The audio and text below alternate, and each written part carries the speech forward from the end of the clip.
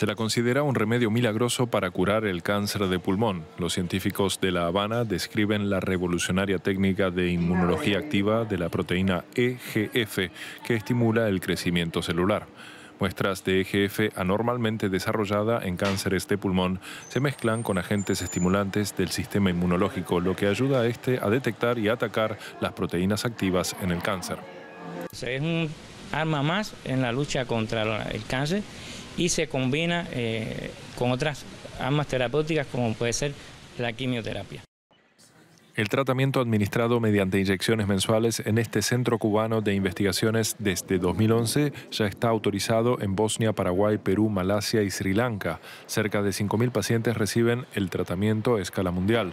El Instituto Oncológico de Roswell Park en Buffalo, Estados Unidos, inició la colaboración con los colegas cubanos en 2015.